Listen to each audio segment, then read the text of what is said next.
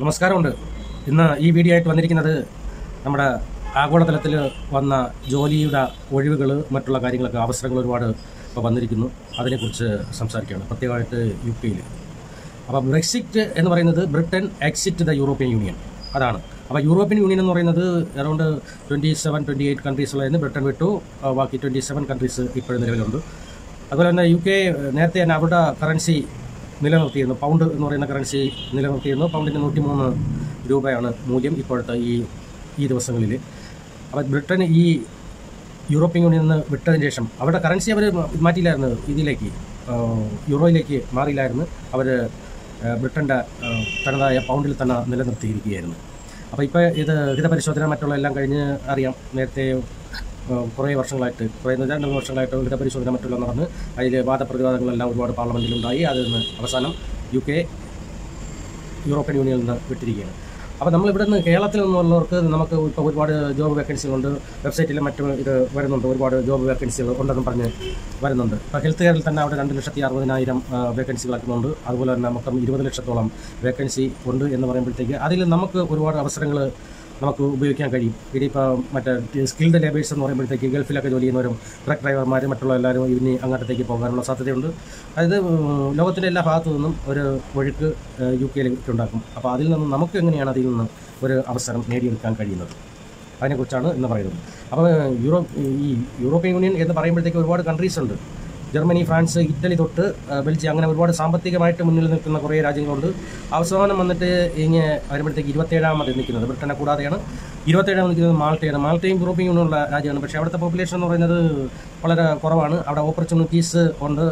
പക്ഷേ കുറവാണ് ഓപ്പർച്യൂണിറ്റീസ് പക്ഷേ അവിടെ പോയിട്ടുള്ളവർ പറയുന്നത് അവിടെ ജീവിക്കാനുള്ള സിറ്റുവേഷനോ അവിടെ നിന്ന് എന്തെങ്കിലും ഏൺ ചെയ്യാനുള്ള കാര്യങ്ങളോ അത് വളരെ ബുദ്ധിമുട്ടാണ്.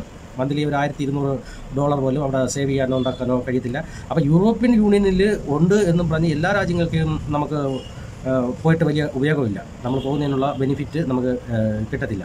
പ്രത്യേകിച്ച് മാൾട്ട ലക്സംബർഗ് അങ്ങനെയുള്ള സൈപ്രസ്. സൈപ്രസ് എന്ന് പറയുമ്പോൾ ലബനാനിന്റെ അടുത്ത് അങ്ങോട്ട് വരുന്ന ഒരു ദ്വീപ് രാജ്യമാണ് സൈപ്രസ്. അപ്പോൾ അവിടെയും ഓപ്പർച്യൂണിറ്റീസ് കുറവാണ്. അവിടെ ഏകദേശം ഒരു പന്ത്രണ്ട് ലക്ഷത്തി ഏഴായിരത്തി മുന്നൂറ്റി അമ്പത്തൊമ്പത് ആണ് ജനസംഖ്യ എന്ന് പറയുന്നത്. ഇത്രയുള്ളൂ അപ്പോൾ അതിന് അവിടെയുള്ളവരും എല്ലാവരും ഈ യു കെയിലേക്കാണ് വന്ന് ചേർന്നത്. അപ്പോൾ ഈ ബ്രെക്സിറ്റിന് മുൻപ് മുൻപെന്ന് പറയുമ്പോഴത്തേക്ക് യൂറോപ്യൻ യൂണിയൻ യൂണിയനിൽപ്പെട്ട എല്ലാവർക്കും നമ്മൾ ഇന്ത്യയിൽ എങ്ങനെയാണോ എല്ലാ സ്റ്റേറ്റുകളിലും പോയി ജോലി ചെയ്യുന്നു ഇൻവെസ്റ്റ് ചെയ്യുന്നു അവിടെ നിന്ന് ഏൺ ചെയ്യുന്നു ഇതെല്ലാം ചെയ്യുന്നു. അതുപോലെ തന്നെ ഈ ട്വന്റി എയ്റ്റ് കൺട്രീസും അന്ന് എല്ലാ പേരും അങ്ങോട്ടും ഇങ്ങോട്ടും എക്സ്ചേഞ്ച് ചെയ്ത് ഇവിടെ പോകും. അപ്പോൾ ലണ്ടൻ ഒരു അഡ്വാൻസ്ഡ് ഏരിയ ആയതുകൊണ്ട് ഈ യൂറോപ്യൻ യൂണിയനിലുള്ള എല്ലാവരും കൂടെ വന്ന് ഫോക്കസ് ചെയ്ത് സെൻട്രലൈസ് ചെയ്യുന്നത് ലണ്ടനിലായിരുന്നു ഇംഗ്ലണ്ടിലായിരുന്നു.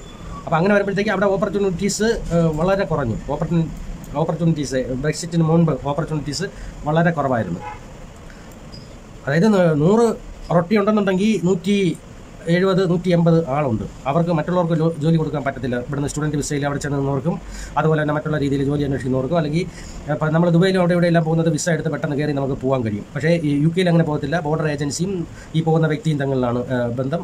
അവർ എല്ലാം ചെക്ക് ചെയ്ത് അങ്ങനെ മാത്രമേ പോകുള്ളൂ. അപ്പോൾ tier one tier two tier three അതുപോലുള്ള വിസ വഴിയാണ് പോകുന്നത്. ഹൈലി ക്വാളിഫൈഡ് ടെക്നിക്കൽ ഏരിയയിലുള്ളവർ അവർക്ക് ആവശ്യമുണ്ടായിരുന്നു. അതുകൊണ്ട് ഒരു ടയർ അത് അവർക്ക് മാറ്റിവെച്ചു. പിന്നെ ടയർ ഫോർ സ്റ്റുഡൻസ് വിസയിൽ ഒരുപാട് പേര് പോകുന്നുണ്ടായിരുന്നു. ആദ്യ കാലഘട്ടങ്ങളിൽ രണ്ട് വർഷം പി എസ് ഡബ്ല്യു പോസ്റ്റ് വർക്സിന് അവസരം കൊടുത്തിരുന്നു. പിന്നെ അത് ഒരു വർഷമാക്കി. പിന്നെ എടുത്ത് കളയോ അങ്ങനെയൊക്കെയുള്ള ഒരുപാട് മാറ്റങ്ങൾ അവിടെ ഉണ്ടായി. അപ്പോൾ ആ മാറ്റങ്ങൾ വന്നപ്പോഴത്തേക്ക് അവസരങ്ങളും കുറഞ്ഞു. അവിടെ ചെന്ന് എത്തിപ്പെടുക അവിടെ ഒരു ജോലി നേടുക എന്നുള്ളത് ഇതായി. സ്റ്റുഡൻസ് വിസയിൽ നേരത്തെ പോയിട്ടുള്ളവർക്കെല്ലാം അത് അറിയാവുന്ന കാര്യമാണ്. അവിടെ നമുക്ക് ഓപ്പർച്യൂണിറ്റീസ് വളരെ കുറവായിരുന്നു. അതുപോലെ തന്നെ ഇതിപ്പോൾ യുണൈറ്റഡ് കിങ്ഡം എന്ന് പറയുമ്പോഴത്തേക്ക് ഇംഗ്ലണ്ട് ഇംഗ്ലണ്ടിൽ പെടുന്ന സ്ഥലമാണ് London South East East of England South Wales South West North West East Midlands West Midlands Yorkshire and the Humber North East ഇങ്ങനെ വരും. ഇതാണ് ഇംഗ്ലണ്ടിൽ പെടുന്ന ഏരിയ എന്ന് പറയുന്നത്. രണ്ടാമത് സ്കോട്ട്ലാൻഡ് സ്കോട്ട്ലാൻഡ് എന്ന് പറയുന്നത് അവരും ഇപ്പോൾ സെപ്പറേറ്റ് നിൽക്കുന്ന പോലെ ഇതിൽപ്പെട്ട യുണൈറ്റഡ് കിങ്ഡത്തിൽപ്പെട്ടത് തന്നെ പക്ഷേ സെപ്പറേറ്റ് ഒരു രാജ്യം. പിന്നെ വെയിൽസ് പിന്നെ നോർത്ത് ഈൻ അയർലൻഡ് ഇതെല്ലാം കൂടിയാണ് യുണൈറ്റഡ് കിങ്ഡം എല്ലാത്തിനും കൂടെ ചേർത്ത് ഒരു ആറ് കോടി അറുപത്തേഴ് ലക്ഷത്തി തൊണ്ണൂറ്റാറായിരത്തി എണ്ണൂറ്റി ഏഴാണ് അവിടുത്തെ ടോട്ടൽ പോപ്പുലേഷൻ വരുന്നത് അതായത് കേരളത്തിൽ മൂന്നര ഉണ്ടെങ്കിൽ എങ്കിൽ തമിഴ്നാട്ടിന് ഏഴ് കോടി അടുപ്പിച്ച് ആണ് ജനസംഖ്യ വരുന്നത്. അതുപോലെ ഭൂപ്രകൃതി എന്ന് വെച്ചാൽ തമിഴ്നാടിനോളം വലിപ്പമുള്ള ഒരു ദ്വീപ ആയ രാജ്യമാണ് ഈ ഇംഗ്ലണ്ട് എന്ന് പറയുന്നത്. യുണൈറ്റഡ് കിങ്ഡം എന്ന് പറയുന്നത്. അതാണ് അതിന്റെ ഭൂപ്രകൃതി അവിടെ ജനസംഖ്യ ഇങ്ങനെയാണ്. അപ്പോൾ ഇപ്പോൾ എന്തുകൊണ്ട് ഇങ്ങനെ വന്നു? അപ്പോൾ ഈ ബ്രെക്സിറ്റ് ആയപ്പോഴത്തേക്ക് എല്ലാ അവിടെയുള്ള മറ്റുള്ള പോളൻ പോളിഷുകാരും മറ്റുള്ള രാജ്യക്കാരെല്ലാം അവരുടെ നാട്ടിലേക്ക് പോയി. ഇപ്പം ഇപ്പം യൂറോപ്യൻ യൂണിയനിൽ ഇംഗ്ല യു കെ ഇല്ല യുണൈറ്റഡ് കിങ്ഡം ഇല്ല. അങ്ങനെ ഈ വന്ന സാഹചര്യം ആകുമ്പോഴത്തേക്ക് അവിടെ ഒരുപാട് തൊഴിലവസരങ്ങൾ ആൾക്കാരെല്ലാം പോയതുകൊണ്ട് തൊഴിലവസരങ്ങൾ കിടക്കുന്നു. ഇരുപത് ലക്ഷം തൊഴിൽ രണ്ട് ലക്ഷത്തി അറുപതായിരം മീൻ ഹെൽത്ത് കെയർ അങ്ങനെയൊക്കെ കിടക്കുകയാണ്. അപ്പോൾ ഇംഗ്ലണ്ടിന്റെ പ്രത്യേകത എന്ന് പറഞ്ഞാൽ അവിടുത്തെ പോപ്പുലേഷൻ എന്ന് പറയുന്നത് അത് ആയുസ് ആ, ഇത്തിരി കൂടുതലാണ്. അതിൽ ഇതാണ്. നൂറ് തൊണ്ണൂറ്റെട്ട് തൊണ്ണൂറ് എൺപത്തി ആ, തൊണ്ണൂറ് ഒക്കെയാണ്. എൺപത്തേഴോളം ആവറേജ് ആയുസുണ്ട് അങ്ങനെ പോകുന്നത് അവിടെ വൃദ്ധജനങ്ങളാണ് കൂടുതൽ പോപ്പുലേഷൻ അവിടെ ഇൻക്രീസ് ചെറിയ പെർസെന്റേജ് മാത്രമേ ഇൻക്രീസ് ആവുന്നുള്ളൂ. അതായത് ഇയർലി ഇയർലി ഇൻക്രീസ് ആ പോപ്പുലേഷൻ എന്ന് പറയുന്നത് വളരെ ലെസ് പെർസെന്റേജ് ആണ്. അപ്പോൾ അവർക്ക് മാൻ പവർ വേണം. അപ്പോൾ മാൻ പവർ സപ്ലൈ ചെയ്യാനുള്ളത് ഇന്ത്യയ്ക്ക് സപ്ലൈ ചെയ്യാം. ചൈനയ്ക്ക് സപ്ലൈ ചെയ്യാം. പിന്നെ പാകിസ്ഥാൻ അഫ്ഗാനിസ്ഥാൻ നോർത്ത് അഫ്ഗാനിസ്ഥാൻ നമ്മുടെ അയൽ രാജ്യങ്ങൾ ഇവിടെ നിന്നെല്ലാം പോപ്പുലേഷൻ കൂടുതലുള്ളത് പോവാം. പക്ഷേ അവിടെ ഇംഗ്ലണ്ടിൽ ഇപ്പോഴും ചെല്ലുന്നതിനും അതിന്റേതായ നിയമങ്ങളും കാര്യങ്ങളും എല്ലാം ഇപ്പോഴും നിലവിൽ നിൽക്കുകയാണ്. എങ്ങനെ ചെന്നെത്താന്ന് വെച്ച് കഴിഞ്ഞ് കഴിഞ്ഞാൽ നമുക്ക് പല മാർഗങ്ങളുണ്ട് ഇപ്പോഴത്തെ സിറ്റുവേഷനിൽ അവർ കോബ്ര മീറ്റിംഗ് കൂടി എന്നൊക്കെ പറയുന്നത് അത് അതിസങ്കീർണമായ ഗുരുതരമായ ഗൗരവമായ കാര്യങ്ങൾ നിലനിൽക്കുന്ന സമയത്താണ് ഈ കോബ്ര മീറ്റിംഗ് ഒക്കെ കൂടുന്നത്. അപ്പോൾ അതിൽ ഈ തൊഴിലാളികളുടെ എങ്ങനെയാണ് തൊഴിൽ എന്ന് വെച്ചാൽ ടെക്നിക്കൽ മേഖലയുണ്ട് എല്ലാ മേഖലയിലും. എല്ലാ മേഖലയിലുമുള്ള ആൾക്കാരുടെ ഈ തൊഴിൽ തൊഴിൽ വേക്കൻസികൾ എങ്ങനെ നികത്താമെന്നുള്ളതിനെ കുറിച്ചാണ് ആ മീറ്റിംഗ് അപ്പോൾ അതിനെക്കുറിച്ച് അപ്പോൾ ഇനിയിപ്പോൾ വിസ ചട്ടങ്ങളിൽ എന്താണ്? ലളിതവൽക്കരണം നടക്കും. അല്ലെന്നുണ്ടെങ്കിൽ അതിന്റെ ഈ നേരത്തെയുള്ള കാഠിന്യം കുറഞ്ഞ് നമുക്ക് ഈസി ആയിട്ട് പോകാനുള്ള അവസരങ്ങൾ കിട്ടും. അപ്പോൾ ഇപ്പോൾ അവിടെയുള്ള തൊഴിലവസരങ്ങൾ പല പല വെബ്സൈറ്റുകളിലും പല ഇതും പല ആരോപണങ്ങളും അതായത് എങ്ങനെ പോകാമെന്നുള്ളതിനെ കുറിച്ച് പറയുന്നുണ്ട്. അപ്പോൾ എന്തായാലും കുറേ വെബ്സൈറ്റുകളുണ്ട് ആ വെബ്സൈറ്റുകളിൽ ഇപ്പോഴത്തെ അവിടുത്തെ തൊഴിൽ സാഹചര്യം മാറിയതിന്റെ അടിസ്ഥാനത്തിൽ അവിടുത്തെ വിസ ചട്ടങ്ങൾ ലഘൂകരിച്ച് അത് പ്രാബല്യത്തിൽ വന്നെങ്കിൽ മാത്രം നമുക്ക് പോകാൻ കഴിയുന്ന പല രീതിയിലുണ്ട്. അപ്പോൾ അവിടെ എന്ന് പറഞ്ഞു കഴിഞ്ഞാൽ ഈ വർക്ക് പെർമിറ്റ് നേരത്തെ കൊടുക്കുക എന്ന് പറഞ്ഞു കഴിഞ്ഞാൽ അവിടെ വർക്കിന് ആളുണ്ട്. അതുകൊണ്ട് വർക്ക് പെർമിറ്റ് പുറത്ത് ഇഷ്യൂ ചെയ്യേണ്ട കാര്യമില്ല. അതുകൊണ്ട് കഴിഞ്ഞ കാലഘട്ടങ്ങളിൽ ഇവിടെ നിന്ന് വർക്ക് പെർമിറ്റ് പോകുന്നവരൊക്കെ വളരെ തുച്ഛമാണ് പക്ഷേ ഹൈലി ക്വാളിഫൈഡ് ആയിട്ടുള്ള ആൾക്കാരൊക്കെ പോയിട്ടുണ്ട്. ഡോക്ടേഴ്സ് എഞ്ചിനീയേഴ്സ് പിന്നെ ആ മേഖലയിലുള്ള അങ്ങനെയുള്ള ടെക്നിക്കൽ ഹൈലി ടെക്നിക്കൽ പീപ്പിൾ പോകുന്നുണ്ട്. പിന്നെ എക്സ്ചേഞ്ച് പ്രകാരം പോകുന്നുണ്ട്. പക്ഷേ അതിന് താഴോട്ടുള്ളവർക്ക് ഇപ്പോൾ ട്രക്ക് ഡ്രൈവർമാരായാലും അക്കൗണ്ടന്റ് മറ്റു അങ്ങനെയുള്ള ഈ ജോബുകളിലെല്ലാം റെസ്റ്റോറന്റിൽ ഹോസ്പിറ്റാലിറ്റി ഇൻഡസ്ട്രിയിൽ അവിടെ ഇവിടെയൊക്കെ ആൾക്കാർ പോകണമെന്ന് പറഞ്ഞു കഴിഞ്ഞാൽ അത് പോകാൻ വളരെ ബുദ്ധിമുട്ടായിരുന്നു. നമ്മൾ ദുബൈയിൽ പോകുന്നവർക്കോ മറ്റു അത്ര അങ്ങനെ മിഡിൽ ഈസ്റ്റിൽ പോകുന്നവർക്ക് ഒരു പോകാൻ പറ്റുന്ന ഒരു രാജ്യമല്ല ഇത്. അവരങ്ങോട്ട് പ്രവേശിപ്പിക്കുകയില്ലായിരുന്നു. ഇപ്പോൾ ഈ സിറ്റുവേഷൻ വന്നപ്പോഴത്തേക്ക് ഇനിയിപ്പോൾ വിസ ചട്ടങ്ങൾ മാറി വരും മാറി വന്നു. അപ്പോൾ അത് എങ്ങനെ നിങ്ങൾക്ക് ചെയ്യാമെന്ന് വെച്ച് കഴിഞ്ഞാൽ ഒരു രീതി എന്ന് പറയുന്നത് ഡയറക്റ്റ് നമുക്ക് അപ്ലൈ ചെയ്യാം. ഡയറക്റ്റ് അപ്ലൈ ചെയ്യുക എന്ന് പറഞ്ഞു കഴിഞ്ഞാൽ വെബ്സൈറ്റുകൾ വഴി. വെബ്സൈറ്റുകൾ എന്ന് പറയുമ്പോഴത്തേക്ക് ഇപ്പോൾ അതിപ്പോൾ നെറ്റിൽ സെർച്ച് ചെയ്ത് കഴിഞ്ഞാൽ നിങ്ങൾക്ക് കിട്ടും. ഇപ്പോൾ C V library dot co dot U K ഒരു സൈറ്റാണ് ഇന്ത്യയുടെ ഉണ്ട് ഇന്ത്യയുടെ എല്ലാം സാധാരണപ്പെട്ടവർക്ക് ഇപ്പോൾ വിദ്യാഭ്യാസം ഇതെല്ലാം കഴിഞ്ഞ ഇതുമായിട്ട് ജോബ് സെർച്ച് ചെയ്യുന്നവർക്ക് എല്ലാം അറിയാം ഇവിടെയുള്ള യുവാക്കൾക്ക്. അപ്പോൾ C V library dot co dot K ഇന്ത്യയുടെ total jobs real dot co dot U K glass door അതുപോലുള്ള monster job site dot co dot U K career builder simply hires jobs പിന്നെ അപ്പോൾ ഇതെല്ലാം ഒരു കോമൺ ആയിട്ടുള്ള മറ്റുള്ള എല്ലാം അപേക്ഷിക്കാനുള്ളതാണ്. പക്ഷേ അവിടെ ഹെൽത്ത് കെയറിലാണ് ഏതാണ്ട് രണ്ട് ലക്ഷത്തി അറുപതിനായിരത്തോളം വേക്കൻസികൾ കിടക്കുന്നത്. ഹെൽത്ത് കെയർ എന്ന് പറയുമ്പോൾ ആ ഒരു ഏരിയ നമുക്ക് കേരളത്തിലുള്ളവർക്ക് യൂട്ടിലൈസ് ചെയ്യാൻ നല്ല ഒരു അവസരമാണ്. കാരണം എന്ന് പറഞ്ഞു കഴിഞ്ഞാൽ ഇപ്പം നമ്മുടെ കിഴക്കൻ മേഖല തൊട്ട് ഇങ്ങോട്ട് എല്ലായിടത്തും ഓൾ ഓവർ കേരള എല്ലാവരും പെൺകുട്ടികളെല്ലാം ഒരുപാട് നഴ്സിങ്ങും മറ്റേ ഹെൽത്ത് കെയർ ഇതിലെല്ലാം പഠിച്ച് ചെറിയ ശമ്പളത്തിനാണ് ഇപ്പോൾ ഇവിടെ എല്ലാ എല്ലായിടത്തും ജോലി ചെയ്യുന്നത്. അവർക്ക് ഒരു പുതിയ ഓപ്പർച്യൂണിറ്റീസ് ആണ് ഇത് ഓപ്പൺ ചെയ്യുന്നത് തരുന്നത്. അപ്പോൾ ഹെൽത്ത് കെയറിലുള്ളവർക്ക് മാത്രം health care senior health care ഈ ഏരിയയിലേക്ക് നഴ്സുകൾ ഇവരെല്ലാം അവർക്ക് അപ്ലൈ ചെയ്യാൻ വേണ്ടിയാണ് jobs dot N H S dot U K എന്ന് പറയുന്ന ഒരു സൈറ്റ് ഉണ്ട്. അതിൽ മെയിൻലി ഹെൽത്ത് കെയർ ആണ് ഫോക്കസ് ചെയ്തിരിക്കുന്നത്. അവർക്ക് അവിടെ ഇത് ചെയ്യാം. പിന്നെ ഹോസ്പിറ്റാലിറ്റി ഇൻഡസ്ട്രിയിൽ അതുപോലെയുള്ള ഇതിലെല്ലാം വേക്കൻസികളുണ്ട് അപ്പോൾ ഇത് ഡയറക്റ്റ് നമ്മൾ ഇവിടെ ഇരുന്ന് അപ്ലൈ ചെയ്ത് കഴിഞ്ഞ് കഴിഞ്ഞാൽ ജോബ് സൈറ്റിൽ അപ്ലൈ ചെയ്ത് കഴിഞ്ഞാൽ നമുക്ക് കിട്ടുമോ നമ്മൾ അപ്ലൈ ചെയ്യുക അപ്പോൾ അവർ റിപ്ലൈ അവർക്ക് ഇന്ന വേക്കൻസി ഉണ്ട് നമ്മൾ ക്വാളിഫൈഡ് ആണ് നമുക്ക് അവർക്ക് ആവശ്യമുണ്ടെങ്കിൽ അവർ നമുക്ക് റിപ്ലൈ തരും. റിപ്ലൈ ചെയ്യുമ്പോഴത്തേക്ക് എന്താണെന്ന് വെച്ച് കഴിഞ്ഞാൽ ഡോക്യുമെന്റേഷൻ ചെയ്യുന്നു. ഡയറക്റ്റ് അവിടെ നിന്ന് തന്നെ അവർ ഇതെല്ലാം പാസ്സായി കഴിഞ്ഞ് കഴിഞ്ഞാൽ അവർ തന്നെ ഇത് വിസാരിച്ച് തരും. പക്ഷേ നേരത്തെ നമ്മൾ എങ്ങനെയാണ് ഇവിടെ നിന്ന് പോകുന്നു എന്ന് വെച്ച് കഴിഞ്ഞ് കഴിഞ്ഞാൽ ഇവിടുത്തെ ഉള്ള അവിടെ യു കെയുടെ ഇതുണ്ട്. വിസ സെന്റർ മറ്റു കാര്യങ്ങളൊക്കെ ഉണ്ടായിരുന്നു. നേരത്തെ ഇവിടെ കൊച്ചിയിലുണ്ടായിരുന്നു. പിന്നെ കൊച്ചിയിൽ നിന്ന് ഇപ്പോൾ മാറ്റിയെന്ന് തോന്നുന്നു. ഇപ്പോൾ മദ്രാസിൽ മാത്രമേ ഉള്ളെന്നാണ് തോന്നുന്നത്. ചെന്നൈയിൽ അപ്പോൾ അത് നോർമൽ അത് നമുക്ക് കണ്ടുപിടിച്ചത് എങ്ങനെയാണെന്ന് വെച്ച് കഴിഞ്ഞാൽ അവിടെ ചിലപ്പോൾ ഒരു ഇന്റർവ്യൂ ഉണ്ടായി അപ്പോൾ ഇപ്പോൾ ദുബൈയിലേക്ക് ആണെന്നുണ്ടെങ്കിൽ നമ്മൾ ഇവിടുന്ന് ഒരു ഫാക്സ് അയക്കുന്നുണ്ടെന്നുണ്ടെങ്കിൽ ഒരു കമ്പനി അവിടെ നിന്ന് നമ്മുടെ പരിചയക്കാർ അവിടെ ഉള്ളതുകൊണ്ട് അവിടുന്ന് വിസ എടുത്ത് അയച്ചിരിക്കുന്നു. നമ്മൾ ടിക്കറ്റ് എടുക്കുന്ന കയറി പോകുന്നു. ഇപ്പോൾ പിന്നെ കോവിഡ് പ്രോട്ടോക്കോൾ എല്ലാം പാലിച്ച് നമ്മൾ അവിടത്തേക്ക് പോകുന്നു. അതേപോലെ നമുക്കിപ്പോൾ യു കെയിൽ കയറി പോകാൻ സാധിക്കണമെന്ന് ഇല്ല. അവിടുത്തെ വിസ ചട്ടങ്ങൾ അയവ് വരട്ടെ. അപ്പോൾ അയവ് വരുന്ന അപ്പോൾ ഇപ്പോൾ അടുത്ത ഒരു ആറ് മാസം അല്ലെങ്കിൽ ഒരു വർഷത്തെ ഫോക്കസ് വെച്ചിട്ട് ഇപ്പോഴേ നിങ്ങൾക്ക് പ്ലാൻ ചെയ്യാൻ കഴിയും. വെബ്സൈറ്റുകളിലെല്ലാം സി വി ഉണ്ടാക്കി അപ്ഡേറ്റ് ചെയ്ത് അപേക്ഷിക്കുക. ഈ പറഞ്ഞ യു കെ വെബ്സൈറ്റുകളിൽ അപ്പോൾ അതിൽ നിന്ന് വേക്കന്റ് വന്നിട്ടുണ്ടെങ്കിൽ പിന്നെ ഉദാഹരണത്തിന് ഇപ്പോൾ എന്റെ അറിവിൽ ഇപ്പോൾ ഒരാൾ ഹെൽത്ത് കെയറിലേക്ക് പോയി ഒരു സീനിയർ ഹെൽത്ത് കെയർ എന്ന് പറഞ്ഞാണ് പോയിരിക്കുന്നത്. നേരത്തെ പുള്ളി അവിടെ യു കെയിലെ ഹെൽത്ത് കെയറിലൊക്കെ ജോലി ചെയ്ത ആളാണ് അവിടെ നിന്ന് വന്നു. യാതൊരു ബന്ധവുമില്ല ഇങ്ങനെ ഇവിടെ നിൽക്കുന്നു. അപ്പോൾ അവിടെ ഹെൽത്ത് കെയറിൽ ജോലിയുള്ള ഒരാളുടെ കേറാഫിൽ അവിടെ സീനിയർ ഹെൽത്ത് കെയർ എന്ന് പറഞ്ഞ് ഒരു വർക്ക് പെർമിറ്റ് ശരിയാക്കി കൊടുത്ത് പുള്ളി അവിടെ യു കെയിൽ ഇറങ്ങി. ഇപ്പോൾ ക്വാറന്റൈനിൽ ഇരിക്കുകയാണ്. അതൊന്ന്. അപ്പോൾ അതുപോലെ നമുക്ക് ഓപ്പർച്യൂണിറ്റീസ് ഉണ്ട്. ഇപ്പോൾ അങ്ങനെ ഈ ഈ സിറ്റുവേഷൻ മാറിയതിന്റെ ഒരു റിഫ്ലക്ഷനാണ് ഇപ്പോൾ ഈ ഒരു വ്യക്തി പോയത്. പക്ഷേ ഇത് നേരത്തെ അത് സാധിക്കും സാധിക്കില്ലായിരുന്നു അങ്ങനെ പോകാനായിട്ട്. അപ്പോൾ അത് ഈ സൂചന ഇതെന്ന് പറയുന്നത് ഇത് സൂചിപ്പിക്കുന്നതെന്ന് പറഞ്ഞു കഴിഞ്ഞാൽ നമുക്ക് ഇനിയും പോകാൻ കഴിയും. അപ്പോൾ ഹെൽത്ത് കെയറുകാരെല്ലാം ഒന്ന് പരിശ്രമിച്ചു കഴിഞ്ഞാൽ അവർക്ക് അവിടെ ഇറങ്ങാൻ പറ്റും. പിന്നെ ഹെൽത്ത് കെയറുടെ കാര്യം കോമൺ ആയിട്ടുള്ള ഒരു കാര്യം എന്ന് പറയുന്നത് നിങ്ങളിപ്പോൾ ഹെൽത്ത് കെയർ ഇവിടെ എന്തെങ്കിലും നഴ്സിങ്ങോ മറ്റുള്ള എല്ലാം പഠിച്ചോണമെന്നുണ്ടെങ്കിൽ നിങ്ങൾക്ക് ഇവിടെ ഏജൻസി വഴി അപേക്ഷിക്കാം. ആർക്കും ഇപ്പോൾ വെബ്സൈറ്റ് വഴി അപേക്ഷിക്കാം ഡയറക്റ്റ് ഏജൻസി ഏജൻസിയിൽ പോകുമ്പോഴത്തേക്ക് അവർ അവർക്ക് ഇഷ്ടപ്പെട്ട ഫീസ് ചാർജ് ചെയ്യും. ഇപ്പോൾ സാധാരണ ഇതിൽ വർക്ക് പെർമിറ്റ് തയ്യാറാക്കുന്നതിന് പന്ത്രണ്ട് ലക്ഷം പതിമൂന്ന് പതിനഞ്ച് ലക്ഷം ഒക്കെ ചോദിക്കുന്നുണ്ട്.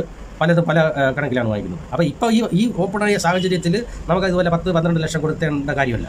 പിന്നെ ഇപ്പോൾ നഴ്സിംഗ് ബി എസ് സി ഇതെല്ലാം നഴ്സിംഗ് ഒക്കെ പഠിച്ച് നിൽക്കുന്നവർക്ക് ഇപ്പോൾ പോകണമെന്നുണ്ടെങ്കിൽ വേറൊരു രീതിയിലും പോകാം. ഒരു സ്റ്റുഡന്റ് വിസ എടുക്കുക. സ്റ്റുഡന്റ് വിസ വെച്ചാൽ വൺ ഇയർ കോഴ്സിന്റെ ഹെൽത്ത് കെയറിന്റെ സ്റ്റുഡന്റ് വിസയുണ്ട് സ്റ്റുഡന്റ് വിസ എന്ന് പറഞ്ഞാൽ സ്റ്റുഡന്റ് കോഴ്സ് ഉണ്ട്. ഏതെങ്കിലും ഒരു യൂണിവേഴ്സിറ്റിയിൽ ഒരു വർഷത്തെ കോഴ്സ് നിങ്ങൾക്ക് രജിസ്റ്റർ ചെയ്യാം. അപ്പോൾ അതിന് എന്തൊരു ചിലവാകും? കോഴ്സ് ഫീസ് ചിലപ്പോൾ ഒരു വർഷത്തെ കോഴ്സൊക്കെ ആകുമ്പോഴത്തേക്ക് ചിലപ്പോൾ ഒരു ഒന്നര ലക്ഷം രണ്ട് ലക്ഷം അല്ലെങ്കിൽ മാക്സിമം മൂന്ന് ലക്ഷം. പിന്നെ അങ്ങോട്ട് പോകുന്നതിന് മറ്റുള്ള ഫോർമാലിറ്റീസ് എന്തെന്ന് പറഞ്ഞു കഴിഞ്ഞാൽ നിങ്ങൾ ഈ കോഴ്സ് എടുക്കുന്നു നിങ്ങൾക്ക് യൂണിവേഴ്സിറ്റി പറയുന്നു നിങ്ങൾക്ക് ഇവിടെ അഡ്മിഷൻ തന്നിരിക്കുന്നു അവർ അതിനുള്ള ലെറ്റർ വരും. അപ്പം പണ്ട് കാലങ്ങളിൽ പണ്ട് കാലങ്ങളിൽ വെച്ചാൽ ഇപ്പോൾ ഇന്നലെ വരെ ഇന്നുവരെ ആ നിയമമാണ് നിലനിൽക്കുന്നത്. നിങ്ങൾക്ക് ഇവിടെ നിന്ന് അവിടെ പോകണമെന്നുണ്ടെങ്കിൽ നിങ്ങൾ അവിടെ ചാടി നിൽക്കില്ല എന്നൊക്കെ ഒരു കൺഫേം ചെയ്യുന്നതിന് വേണ്ടി നിങ്ങൾ ഇവിടെ നിങ്ങൾ ഇവിടെ ആസ്തിയുള്ള ആളാണെന്ന് അറിയുന്നതിന് വേണ്ടി ഇവിടെ ഒരു ഫിക്സഡ് ഡെപ്പോസിറ്റ് ചെയ്യാൻ പറയും. ഒരു മൂന്ന് ലക്ഷം രൂപയെ. ഒന്നര ലക്ഷം രൂപ അങ്ങനെ ഫിക്സഡ് ഡെപ്പോസിറ്റ് കാണിക്കാൻ പറയും. ആ ഫിക്സഡ് ഡെപ്പോസിറ്റ് ബാങ്കിൽ നിങ്ങൾ ഈ പൈസ ഡെപ്പോസിറ്റ് ചെയ്യുന്നു. പിന്നെ സർട്ടിഫിക്കറ്റ് കാണിക്കുന്നു ഇതെല്ലാം കൂടെ വെച്ചിട്ട് നമ്മുടെ സി വി ഇതെല്ലാം കൂടെ വെച്ചിട്ടാണ് നമ്മൾ ഈ ഇവിടെ വിസ സെന്ററിൽ ഇത് അപ്ലൈ ചെയ്യുന്നത്. അപ്ലൈ ചെയ്യുമ്പോഴത്തേക്ക് അവർ നിങ്ങളെ ഇന്റർവ്യൂവിന് വിളിക്കും. ഇന്റർവ്യൂവിൽ ഇങ്ങനെയെല്ലാം നോക്കി പാസ്സായെന്നുണ്ടെങ്കിൽ ഈ ഫസ്റ്റ് തേർട്ടി ഡേയ്സിനകം തന്നെ നിങ്ങൾക്ക് സ്റ്റുഡന്റ് വിസ ഇതടിച്ച വിസ അടിച്ച് നിങ്ങളുടെ പാസ്പോർട്ട് വരും. അവിടെ ചെല്ലുമ്പോൾ ഇന്റർവ്യൂവിൽ അവർ പാസ്പോർട്ട് എല്ലാം വാങ്ങിച്ചു വയ്ക്കും അത് തിരിച്ചയക്കുന്നതിനുള്ള പൈസയും നമ്മൾ ആദ്യമേ എന്ന ഫീസ് ഇനത്തിൽ കിട്ടുന്നുണ്ട്. ഇവർ അയച്ചു തരുന്നു. വിസ റെഡിയാണെന്നുണ്ടെങ്കിൽ നിങ്ങൾ പോകാനുള്ള ചെക്ക് ലിസ്റ്റ് ചെയ്യാനുള്ള ഇതാണ് അവിടുത്തെ തണുപ്പ് രാജ്യമാണ്. അവിടെ ഇടാനുള്ള ഡ്രസ്സുകൾ കമ്പിളി വസ്ത്രങ്ങൾ ഇതെല്ലാം വാങ്ങിക്കുന്നു. ഇതെല്ലാം ചെയ്യുന്നു. നിങ്ങൾ പോകുന്നു. ഇപ്പോൾ പിന്നെ കോവിഡ് പ്രോട്ടോക്കോളൊക്കെ പാലിച്ച് എന്താണ് ഇതിന്റെ ഇഞ്ചക്ഷനോ മറ്റ് വാക്സിനേഷൻ മറ്റുള്ള ടെസ്റ്റുകളൊക്കെ നടത്തിയിട്ട് നിങ്ങൾ ഇവിടെ നിന്ന് കയറി പോകുന്നു. അപ്പോൾ അവിടെ ചെന്ന് കഴിഞ്ഞാൽ എങ്ങനെയാണ്? അവിടെ എങ്ങനെയാണ് ചിലവുകൾ യൂണിവേഴ്സിറ്റിക്ക് വലിയ യൂണിവേഴ്സിറ്റി അവർക്കെല്ലാം അവിടെ ഹോസ്റ്റൽ കാര്യങ്ങളൊക്കെ ഉണ്ട്. അങ്ങനെ പോകുന്നവർ അത് മൂന്ന് വർഷം അഞ്ച് വർഷം വർഷത്തെ കോഴ്സിനൊക്കെ പോകുന്നവർക്കാണ്. ഈ വൺ ഇയറിനൊക്കെ പോകുന്നവർക്ക് നിങ്ങൾക്ക് അവിടെ മറ്റുള്ള പരിചയത്തിന്റെ പേരിലോ അവിടെ എവിടെയോ ഒക്കെ എങ്ങനെയാണെന്ന് വെച്ച് കഴിഞ്ഞാൽ താമസിക്കാം. അതിന്റെ ചിലവ് എങ്ങനെ വരുമെന്ന് വെച്ച് കഴിഞ്ഞാൽ ഒരു ചെറിയ റൂം ഒരു കട്ടിലും ഒരു ടി വി ഒക്കെ വയ്ക്കാനുള്ള ഒരു ചെറിയ ഒത്തിരി പഠനവും ഒരു മേശയൊക്കെ ഇടാവുന്ന അത്ര ഉള്ള ഒരു സ്ഥലത്തിന് അമ്പത് പൗണ്ട് ആയിരുന്നു ഒരു എട്ട് ഒമ്പത് വർഷത്തിന് മുമ്പ് നമ്മൾ കൊടുത്തുകൊണ്ടിരുന്നത്. അമ്പത് പൗണ്ട് ആകും. പിന്നെ അത് കഴിഞ്ഞിട്ട് പിന്നെ ഷെയറിങ് ഇതിൽ വേണമെങ്കിൽ താമസിക്കാം. അത് അതിന്റെതായ രീതിയിൽ കണ്ടുപിടിക്കുക. അപ്പോൾ ഇത് ക്യാഷ് ഉള്ളവർക്ക് പോകാൻ ഇത്. അപ്പോൾ ഇനിയിപ്പോൾ ക്യാഷ് ഇല്ലെന്നുണ്ടെങ്കിൽ നിങ്ങൾക്ക് ബാങ്ക് ലോണിന് അപേക്ഷിക്കാം. ബാങ്ക് നിന്ന് ആ ബാങ്ക് തന്നെ അവിടെ നിങ്ങൾക്ക് അനുവദിച്ചു തരുന്ന ഡെപ്പോസിറ്റ് ഫിക്സഡ് ആയിട്ട് മാറ്റുന്നു. മറ്റേ കോഴ്സ് ഫീസിനുള്ള പൈസ തരുന്നു. ചിലവിനുള്ള പൈസ നിങ്ങളുടെ അക്കൗണ്ടിലേക്ക് തരുന്നു. ഇന്റർനാഷണൽ ഡെബിറ്റ് കാർഡുമായിട്ട് നിങ്ങൾക്ക് പോയാൽ മതി. അവിടെ പോകുന്നു. ഇതായിരുന്നു അവിടെ ചെന്ന് കഴിഞ്ഞ് കഴിഞ്ഞാൽ ഈ കോഴ്സ് നിങ്ങൾ പഠിക്കുന്നു ഈ കോഴ്സിനിടയിൽ ഇപ്പോൾ പാർട്ട് ടൈം വർക്ക് കിട്ടാൻ എളുപ്പമാണ്. പാർട്ട് ടൈം ജോബ് ചെയ്യാം നിങ്ങൾക്ക്. അതായത് ഒരു വൺ അവർ ഒരു അവർ ജോലി ചെയ്യുമ്പോഴത്തേക്ക് നമുക്ക് ഏതാണ്ട് മിനിമം അഞ്ച് പൗണ്ട് എങ്കിലും കിട്ടണം. അതാണ് അവിടുത്തെ നേരത്തെ ഉണ്ടായിരുന്ന റേറ്റ് അതിപ്പോൾ ആറ് ഏഴൊക്കെ ആയിട്ടുണ്ടായിരിക്കാം. പിന്നെ പതിനഞ്ച് പൗണ്ട് വരെ പോകുന്നത് ഇതുമുണ്ട് പക്ഷേ ഈ അഞ്ച് പൗണ്ട് കിട്ടി കഴിഞ്ഞാൽ ഒരു അഞ്ച് മണിക്കൂർ കിട്ടുന്നുണ്ട്. ആഴ്ചയിൽ ഇത്ര മണിക്കൂറേ ജോലി ചെയ്യുന്നുണ്ട് സ്റ്റുഡൻസിന്. നേരത്തെ റെസ്ട്രിക്ഷൻ ഉണ്ടായിരുന്നു. പിന്നെ അത് വളരെ കുറച്ച്. അങ്ങനെ ഒരുപാട് ഒരുപാട്. കാരണം എന്ന് പറഞ്ഞു കഴിഞ്ഞാൽ ആ സിറ്റുവേഷനിൽ ഇപ്പോൾ മാറിയിട്ടുണ്ട്. നിങ്ങൾക്ക് പാർട്ട് ടൈം ജോലി ചെയ്യാം. അപ്പോൾ ഈ സമയത്ത് പാർട്ട് ടൈം ജോലി ചെയ്യുമ്പോഴത്തേക്ക് ഈ സിറ്റുവേഷൻ മറ്റത് പാർട്ട് ടൈം ജോലി ചെയ്ത് നമ്മൾ കോഴ്സും കഴിഞ്ഞ് തിരിച്ചു വരണം. കാരണം വെച്ചാൽ ഓപ്പർച്യൂണിറ്റി ഇല്ല അവിടെ. നൂറ് ജോബ് ഉണ്ടെങ്കിൽ നൂറ്റി അമ്പത് പേര് ചെയ്യാൻ റെഡിയായി നിൽക്കുന്നത് ഇപ്പോഴങ്ങനെയല്ല. ഇപ്പോൾ ഇരുപത് ലക്ഷവും അങ്ങനെയാണ് ജോബ് വേക്കൻസികൾ അവിടെ കിടക്കുന്നത്. ഹെൽത്ത് കെയറിൽ തന്നെ രണ്ട് ലക്ഷത്തി അറുപതിനായിരം ഉണ്ട്. മറ്റത് അല്ലാതെ തന്നെ ഇരുപത് ലക്ഷം ജോബ് വേക്കൻസി ഉണ്ടെന്നാണ് ഇപ്പോൾ ലേറ്റസ്റ്റ് പല വീഡിയോസും യൂട്യൂബിൽ പറയുന്നത്. അപ്പോൾ എന്തായാലും അവിടെ ഓപ്പർച്യൂണിറ്റീസ് ഉണ്ട്. അപ്പോൾ ഈ രീതിയിൽ പോകാം. നിങ്ങൾക്ക് ഡയറക്റ്റ് വെബ്സൈറ്റ് വഴി അപ്ലൈ ചെയ്യാം. രണ്ടാമത് മറ്റുള്ള പൈസ സാമ്പത്തികമായിട്ട് ഉള്ളവർക്ക് ഈ ഇതുപോലെ പോകാം. ഡയറക്റ്റ് യൂണിവേഴ്സിറ്റിയിൽ അത് ഏജൻസി തന്നെ നിങ്ങൾക്ക് ഇതെടുത്ത് തരും. ഏജൻസി എടുക്കുമ്പോഴത്തേക്ക് ഒരു മൂന്ന് മൂന്നര ലക്ഷം അവർക്കാണ് ഇത് പോകുന്നത്. നിങ്ങൾക്ക് ഡയറക്റ്റ് അവിടെ ഒരു യൂണിവേഴ്സിറ്റി വെബ്സൈറ്റ് ഇതിൽ അടിച്ച് കഴിഞ്ഞാൽ ഗൂഗിളിൽ സെർച്ച് ചെയ്ത് കഴിഞ്ഞാൽ പല യൂണിവേഴ്സിറ്റിയിലും കിട്ടും. അവിടെ ഡയറക്റ്റ് പൈസ കൊടുത്തെന്ന് പറഞ്ഞാൽ അത് നഷ്ടപ്പെടുന്നില്ല ഇപ്പോൾ കോഴ്സിലോ വിസ പാസ് ആയില്ലെന്നുണ്ടെങ്കിൽ അവർ ആ പൈസ റീഫണ്ട് ചെയ്തിരുന്നു അതിന് നേരത്തെ കമ്മ്യൂണിക്കേഷൻ ചെയ്ത് വെച്ചിരുന്നാൽ മതി. അപ്പോൾ സാധാരണ രീതിയിൽ ഇനിയിപ്പോൾ വളരെ പ്രയാസം വരത്തില്ല ഇത് കിട്ടും. അപ്പോൾ ഇത് ജെന്യൂൻ ആയിട്ടുള്ള കേസിനെല്ലാം വിസ പാസ്സാകും നിങ്ങൾക്ക് പോകാം. ഇപ്പോൾ പലരും പോയിട്ടുണ്ട്. ഈ അടുത്ത കാലത്ത് തന്നെ ഇപ്പോൾ അവിടെ പോയി ഈ ഹെൽത്ത് കെയറിന്റെ പഠിക്കുന്നവർക്ക് ഞാൻ സി വി തയ്യാറാക്കി കൊടുത്തിട്ടുണ്ട്. അവർക്ക് ഹെൽത്ത് കെയറിൽ അപേക്ഷിക്കുന്നതിന് വേണ്ടി അവർ പറഞ്ഞ രീതിയിൽ സി വി തയ്യാറാക്കി കൊടുത്തു. അപ്പോൾ ഇത് ഇതിന്റെ എല്ലാം ഈ സൂചന എന്ന് പറയുന്നത് അവിടെ മാറ്റങ്ങൾ സംഭവിച്ചുകൊണ്ടിരിക്കുന്നു. ഇനിയും ഒരുപാട് മാറ്റങ്ങൾ വരുന്നു. ആ ഓപ്പർച്യൂണിറ്റീസ് നമ്മുടെ മുന്നിൽ ഓപ്പൺ ആണ്. അപ്പോൾ ഹെൽത്ത് കെയർ എല്ലാവരും അങ്ങോട്ടേക്ക് ഇരിക്കും പിന്നെ ഇതിന്റെ ഒരു മുഖ്യ കടമ്പ എന്ന് പറയുന്നത് ഐ എൽസ് അപ്പോൾ ഐ എൽസ് ഇല്ലാത്തവർ ഇപ്പം നേരത്തെ ഐ എൽസ് കമ്പൽസറിയാണ് പോകുന്നവർക്കെല്ലാം ഐ എൽസ് വേണമായിരുന്നു. അപ്പോൾ ഇനിയിപ്പോൾ ചിലപ്പോൾ അതിന് നമ്മുടെ ഇവിടുത്തെ സർട്ടിഫിക്കറ്റുകൾ നമ്മളിപ്പോൾ ബി എസ് സി നഴ്സിംഗ് പഠിച്ചാലും ബി എ ബി കോം മറ്റുള്ള ഏത് course M A M com ഇതെല്ലാം പഠിച്ചവർക്ക് ഇനി വ്യത്യാസം വരുന്നതെന്ന് പറഞ്ഞു കഴിഞ്ഞാൽ ഈ സർട്ടിഫിക്കറ്റ് എല്ലാം അവിടെ വാല്യൂ വാല്യൂ നൽകാൻ പോവുകയാണ്. അപ്പോൾ അങ്ങനെ വരുമ്പോൾ ഐ എൽസ് ചിലപ്പോൾ വേണ്ടാതെ വരും. ഐ എൽസ് വേണ്ടാതെ വരുമ്പോഴത്തേക്ക് അത് മറ്റുള്ളവർക്ക് കാരണം ഐ എൽസിൽ ഇല്ല എന്നും പറഞ്ഞ് ഒരുപാട് പേര് പിന്നെ അത് എഴുതാൻ പോകാതെ വളരെ പ്രശ്നങ്ങൾ നേരിട്ടുന്ന വ്യക്തികൾ ഒരുപാട് പേരുണ്ട്. അപ്പോൾ ഐ എൽസ് നിങ്ങൾക്ക് എഴുതിയെടുക്കുകയാണെന്നുണ്ടെങ്കിൽ അത് നല്ലത്. ഈ അവസരങ്ങൾ ഉപയോഗിക്കാം. അപ്പോൾ ഈ ഇതെന്ന് പറഞ്ഞു കഴിഞ്ഞാൽ ഇപ്പോൾ ഒരു ഷോർട്ട് പീരീഡ് അല്ല ഇതൊരു ലോങ് റേഞ്ചിൽ നിൽക്കും ലോങ് റേഞ്ചിൽ എന്ന് പറഞ്ഞു കഴിഞ്ഞാൽ അവിടുത്തെ population increment one percent two percent seven പെർസെന്റിനകത്തൊക്കെയാണ് ഈ യൂറോപ്യൻ യൂണിയനിൽ പിന്നെ അല്ല അല്ലാതെ തന്നെ ഈ ഇംഗ്ലണ്ടിൽ യു കെയിൽ യുണൈറ്റഡ് കിങ്ഡത്തിൽ തന്നെ പോപ്പുലേഷൻ ഗ്രോത്ത് എന്ന് പറയുന്നത് പെർസെന്റേജ് വളരെ കുറവാണ്. അപ്പോൾ ഈ ഇത് അവിടെ നിലനിൽക്കും ഈ ഓപ്പർച്യൂണിറ്റി അപ്പോൾ ഇപ്പോൾ പഠിക്കുന്നവർക്കും ഇപ്പോൾ പഠിച്ച് ഇറങ്ങിയവർക്കും ഇവർക്കെല്ലാം ഒരു ഫീച്ചർ എന്താണ് ഷോർട്ട് ഫീച്ചറിൽ പോകാനുള്ള പ്ലാനിങ് ഇപ്പോഴേ ചെയ്ത് കഴിഞ്ഞ് കഴിഞ്ഞാൽ നിങ്ങൾക്ക് അവിടെ ചെന്ന് എത്താം. യു കെയിൽ ജോലിയുള്ളത് അപ്പോൾ ഇവിടുത്തെ ഒരു പൗണ്ട് എന്ന് പറയുന്നത് നൂറ്റി മൂന്ന് അങ്ങനെയാണ് ഇന്ന് ഇന്നലത്തേക്ക് റേറ്റ് എന്ന് പറയുന്നത്. നമ്മൾ ഈ എക്സ്ചേഞ്ച് റേറ്റിന്റെ ആ ബെനിഫിറ്റ് ആണല്ലോ നമുക്ക് കിട്ടുന്നത്. അപ്പോൾ നിങ്ങൾക്ക് പോകാൻ താല്പര്യമുണ്ടെങ്കിൽ ഇങ്ങനെ ചെയ്യാം. വെബ്സൈറ്റ് വഴി അപേക്ഷിക്കുക പിന്നെ ഏജന്റിനെ സമീപിക്കുക അല്ലെങ്കിൽ ഡയറക്റ്റ് മറ്റ് രീതികൾ നിങ്ങൾക്ക് നോക്കാം. പിന്നെ ഓ പിന്നെ ഇതിൽ വന്നിരിക്കുന്ന ഇപ്പോഴത്തെ എന്ന് പറഞ്ഞു കഴിഞ്ഞാൽ അവിടെ ഈ പെട്രോൾ പമ്പുകൾ ഒന്നും ഒരുപാട് എണ്ണം അടച്ചിട്ടിരിക്കുകയാണ് അവിടെ ഓയിൽ സപ്ലൈ വരുന്നില്ല. അതായത് ട്രക്ക് ഡ്രൈവർമാർ മറ്റേ ഇവരുടെ ഫ്യുവൽ സെന്ററിൽ നിന്ന് മറ്റേ പമ്പുകളിലേക്ക് കൊണ്ടെത്തിക്കാനൊന്നും ട്രക്ക് ഡ്രൈവർമാരില്ല. അപ്പോൾ അത് പുതിയൊരു അവസരമാണ്. ഇപ്പോൾ ഗൾഫിൽ ജോലി ചെയ്യുന്നവർക്ക് വേണമെന്നുണ്ടെങ്കിൽ ഒരു ഹയർ ഓപ്പർച്യൂണിറ്റി എന്നുള്ള നിലയിൽ ഒരുപാട് പേര് ഹെവി ഡ്യൂട്ടി ഡ്രൈവർമാരൊക്കെ ഉണ്ട്. അവർക്ക് വേണമെന്നുണ്ടെങ്കിൽ അവിടെ നിന്ന് അങ്ങോട്ട് അങ്ങോട്ടത്തേക്ക് പോകാനുള്ള ഒരു ഓപ്പർച്യൂണിറ്റിയാണിത്. പിന്നെ അതുപോലെ തന്നെ ടെക്നിക്കലി ഹോസ്പിറ്റാലിറ്റി ഇൻഡസ്ട്രി മറ്റേതെല്ലാം ഒരുപാട് സ്ഥാപനങ്ങളെല്ലാം അടഞ്ഞു കിടക്കുകയാണ്. കാരണം സ്റ്റാഫില്ല. പിന്നെ ഇതെല്ലാം കഴിഞ്ഞിട്ട് ഇത് വലിയ വലിയ ടെക്നിക്കൽ ക്വാളിഫിക്കേഷൻ മറ്റൊന്നും ഇല്ലാതെ തന്നെ അഗ്രികൾച്ചർ ഫീൽഡിൽ വിളവെടുപ്പ് വിളയിറക്ക് ഇതെല്ലാം ചെയ്യുക അത് സീസണുണ്ട് ഇവിടെ തണുത്ത രാജ്യമാണ് അതിന് ഇതിന് പ്രത്യേക പ്രത്യേക സീസണുണ്ട് ഈ സമയത്ത് വിളവെടുപ്പിന് മറ്റ് ഉള്ള ഇതിനെല്ലാം ആളിനെ വേണം. അപ്പോൾ അത് എന്താണ് അൺസ്കിൽഡ് ഇതാണ്. സ്കിൽഡ് ലേബേഴ്സ് അല്ല അല്ലാതെയുള്ള ലേബേഴ്സിനെയും വേണ്ടി വരും. അപ്പോൾ അതിനും ഓപ്പർച്യൂണിറ്റീസ് ഉണ്ട്. അപ്പോൾ നിങ്ങൾക്ക് ഏത് രീതിയിൽ വേണമെങ്കിലും ഡയറക്റ്റ് അപ്ലൈ ചെയ്ത് പോകാം. അല്ലാതെയുള്ള രീതിയിൽ പോകാം. വർക്ക് പെർമിറ്റോ മറ്റെന്താണെന്ന് വെച്ച് കഴിഞ്ഞാൽ അവിടെ നിന്ന് അവിടെ ഇൻഫ്ലുവൻസ് വെച്ചെടുക്കുക. അല്ലെങ്കിൽ ഏജൻസിയെ സമീപിക്കാം. ഏജൻസിയെ സമീപിക്കുമ്പോഴത്തേക്ക് പൈസ നഷ്ടപ്പെടാതെ സൂക്ഷിക്കണം. എങ്ങനെയാണ് ഇതിന്റെ ഇതിന്റെ ചിലവുകൾ എങ്ങനെ? ഇതെല്ലാം ആദ്യമേ നിങ്ങൾ മുൻകൂട്ടി കണ്ടുവേണം അതിന്റെ കാര്യങ്ങൾ മുന്നോട്ട് നീക്കാനുള്ളത്. പിന്നെ ഇതിനോടനുബന്ധിച്ച് ഇനി വേറെയും ഒരുപാട് കാര്യങ്ങളുണ്ട്. എന്റെ പേഴ്സണൽ എക്സ്പീരിയൻസുകളുണ്ട് എന്റെ പേഴ്സണൽ എക്സ്പീരിയൻസ് പറഞ്ഞു കഴിഞ്ഞ് കഴിഞ്ഞാൽ മൂന്ന് മൂന്ന് ലക്ഷം ബാങ്കിൽ ഡെപ്പോസിറ്റ് ചെയ്ത് എം ബി എ പഠനത്തിന് പോയി. വിസ ഒരു മാസത്തിനകം തന്നെ ഇവിടെ നിന്ന് അടിച്ചു വന്നു. അവിടെ ചെന്നിട്ട് ഒരു ജോലിയും എം ബി എ പഠനം നടന്നു എന്നല്ലാതെ ചെറിയ ചെറിയ ജോലികൾ മാത്രമേ കിട്ടിയതുള്ളൂ ഇപ്പോൾ അവിടെ ചെന്ന് കഴിഞ്ഞ് കഴിഞ്ഞാൽ നിങ്ങൾ സ്റ്റുഡൻസിനാകുമ്പോഴത്തേക്ക് പല ബ്രൗഷർ ഇടാൻ പോക്ക്. അതൊന്നും വലിയ ബെനിഫിറ്റുള്ള കാര്യമല്ല. പിന്നെ ഗാർഡൻ ചെത്തി അവിടുത്തെ മെഷീൻ ഉണ്ട്. ആ മെഷീൻ വെച്ചിട്ട് ഗാർഡൻ വലിയ ഇതെല്ലാം ചെയ്തിട്ട് ഇത് കവറിലാക്കി കൊണ്ടുപോയിക്കുക പിന്നെ ചെറിയ പെയിന്റിങ് ഇലക്ട്രിക്കൽ അങ്ങനെയൊക്കെ ഉണ്ട്. പിന്നെ ഇലക്ട്രിക്കൽ മെക്കാനിക്കൽ അതായത് ഇതെല്ലാം ഉള്ള. ഇലക്ട്രിക്കൽ മെക്കാനിക്കൽ പ്ലംബിംഗ് ഈ പണികളെല്ലാം അവിടെ നല്ല ചാൻസ് ഉണ്ട്. മറ്റേ ഈ ഇലക്ട്രിക് ഹീറ്ററും മറ്റേ ഇതെല്ലാം ശരിയാക്കുന്നതിന് അതിനെല്ലാം നല്ല ഓപ്പർച്യൂണിറ്റീസ് അപ്പോൾ ഇലക്ട്രീഷ്യന്മാർക്ക് പ്ലംബർമാർക്ക് എല്ലാ ഓപ്പർച്യൂണിറ്റീസ് അവിടെ ഉണ്ട്. അപ്പോൾ അങ്ങനെയുള്ള ടെക്നിക്കൽ അറിയാവുന്നവർക്കും ശ്രമിച്ചു നോക്കാം. കിട്ടുന്നതായിരിക്കും. അപ്പോൾ ഇതുപോലെയുള്ള ഈ അല്ലെന്നുണ്ടെങ്കിൽ ചെറിയ പാർട്ട് ടൈം ജോലികൾ ഇനിയിപ്പോൾ അവിടെ കിട്ടും. കാരണം വെച്ചാൽ മറ്റത് ഇരുപത്തി ഏഴ് കൺട്രീസ് എന്നുള്ള ആൾക്കാരോടെയാണ് നമ്മൾ കോമ്പീറ്റ് ചെയ്യാനുള്ളത്. ഇപ്പോൾ ആ ഈ അവരെല്ലാം അവരുടെ രാജ്യങ്ങളിലേക്ക് പോയിരിക്കുകയാണ്. അപ്പോൾ അതാണ് അവിടുത്തെ ഓപ്പർച്യൂണിറ്റീസ് എന്ന് പറയുന്നത്. അപ്പോൾ ഈ അവസരങ്ങൾ ഇവിടെയുള്ള മലയാളികൾ ഇന്ത്യക്കാർക്ക് മറ്റുള്ള എല്ലാവർക്കും ഉപയോഗപ്രദമായിരിക്കും. അപ്പോൾ ഈ ഇപ്പോഴേ പ്ലാനിങ് ചെയ്ത് കഴിഞ്ഞാൽ നിങ്ങൾക്ക് ഒരു ഷോർട്ട് പീരീഡിൽ തന്നെ അവിടെ എത്താൻ കഴിയും. ബാക്കി എന്തെങ്കിലും ഉണ്ടെങ്കിൽ അടുത്ത വീഡിയോയിലേക്ക് വരാം. Okay thank